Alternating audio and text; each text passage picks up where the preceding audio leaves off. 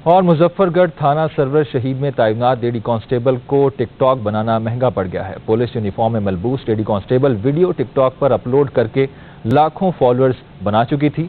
DPO Muzaffargarh ने action लेते हुए लेडी कांस्टेबल को क्लोज टू लाइन कर दिया है। आपको बताएँ, मुजफ्फरगढ़ थाना सरवर शहीद में तैनात लेडी कांस्टेबल को टिकटॉक बनाना महँगा पड़ गया है। नुमाइंदा पब्लिक न्यूज़ अली रमज़ान से इस हवाले से अपडेट्स हासिल कर लेते हैं। जी रमज़ान, बताए गए सवाल से। जी, बिल्कुल, मुजफ्फरगढ़ थाना सरवर शहीद में तैनात लेडी कांस्टेबल महवेश खान को टिकटॉक बनाना महँगा पड़ गया। यूनिफॉर्म में मलबूस वीडियोस अपलोड करके लेडी कांस्टेबल लाखों फॉलोअर्स बना चुकी थी। डीपीओ मुजफ्फरगढ़ तारिक विलायत ने एक्शन लेते हुए महवेश खान को क्लोज टू लाइन कर दिया।